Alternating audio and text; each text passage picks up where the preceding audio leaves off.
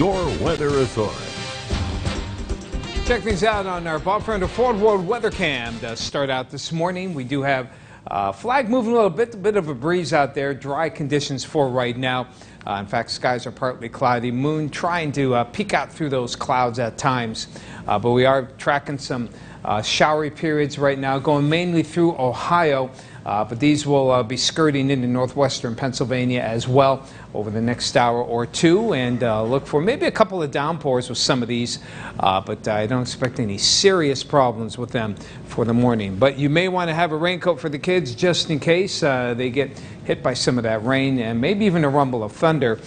Overall, uh, wide range of temperatures here. Mild for most of you, uh, 60s though, but uh, a lot of 50s on the inland side as we head on into the afternoon. There is a chance of showers and storms. Uh, hopefully, they won't start until after the kids get home, but it'll be kind of a close call there. So be ready for it.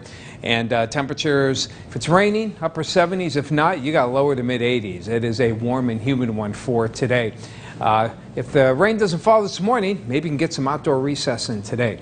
Right now, 55 in Corry, 58 at the Borough. Outdoor Cranesville, Dave has 61, 65 for Keith and McKean, as well as downtown Erie.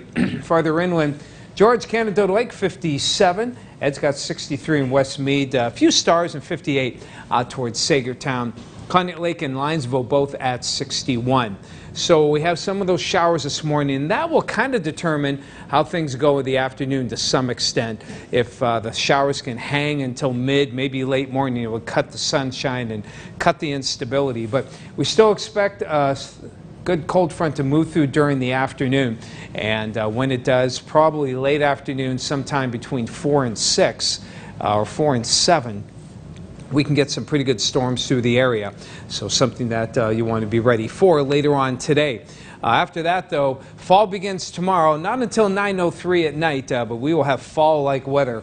A brisk northwesterly flow, uh, that typical lake effect October-like weather uh, with those uh, on and off showers and maybe even a rumble of thunder. You may want to watch for waterspouts on the lake. And uh, looking at the tropics, new wave is uh, forming already. That uh, could turn into an intense storm. And this one, uh, later on this weekend, perhaps early next week, may make a move toward the United States. We'll see way too early for anything. Obviously, it looks more like a Gulf Coast hit, but that's something that we will be watching. Speaking of watching, watch for those storms if you have any reason to be on the lake. It'll be choppy as well. One to three foot waves this morning, two to four for the afternoon. Water temperature at 72. So some showers around and some rumbles of thunder this morning. Then partly sunny. Scattered showers and storms develop again in the afternoon. Highs in the lower to mid 80s. Some could be on the strong side. Fall arrives, very fall-like, low 60s tomorrow, some showery periods and brisk winds.